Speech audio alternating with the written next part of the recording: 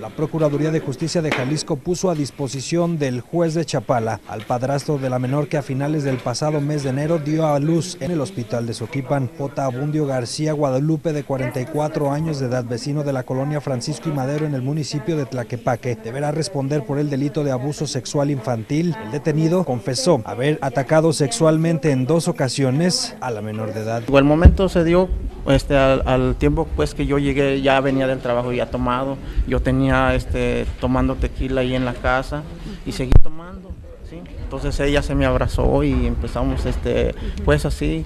Y, y fue ¿No cuando la tomó pasó. a la fuerza? No, para nada, le digo, o sea, no hubo nada de eso, si no, pues la misma niña les haya dicho o haya comentado alguna cosa, pero no. Aseguró también que la madre de la menor, quien tiene 38 años de edad, se enteró que la niña estaba embarazada cuando ésta llevaba ya siete meses de gestación y aparentemente no supo quién era el padre, porque al menor siempre lo aseguró que la persona que la embarazó fue un novio de 17 años al que conoció en un tianguis. No, es que ella no sabía nada.